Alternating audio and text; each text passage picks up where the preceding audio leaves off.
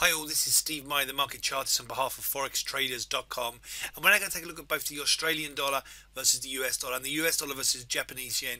And although the US dollar seeing a positive corrective rebound against these currencies underlying bullish pressures for both the Aussie dollar and the Japanese yen still aim the Australian dollar higher versus the US dollar. So we're looking for further US dollar weakness to come through versus the Aussie dollar and also US dollar weakness to come through versus the yen despite the more recent uh, corrective moves we've had and positive US dollar activity. So here we're starting with Aussie dollar versus US dollar.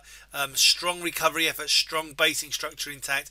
We have seen this downside correction. We'd certainly be looking for 74.11 support to hold on any further downside correction and ultimately looking to the market to revert back higher, back up through the recent peak here for targets into late March and early April at 77.38, 78.49, maybe as high as 80.00.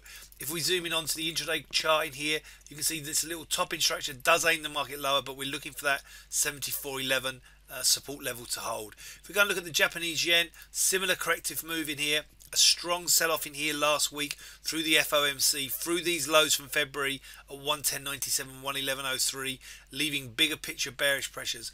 Despite the rebound effort we've seen in here, and we'll take a look at that now in the intraday, the market pushing up to 112.90. There is risk maybe a little higher from here, but ultimately we're looking for bearish pressures to come back through back through this recent low at 110.63 and then we go to the bigger picture chart again the weekly chart here um, looking into late March, early April, looking for this long-term retracement target of 110.33 and potentially psychological 110.00. This has been Steve Meyer, the market chartist on behalf of forextraders.com and I wish you a great trading day.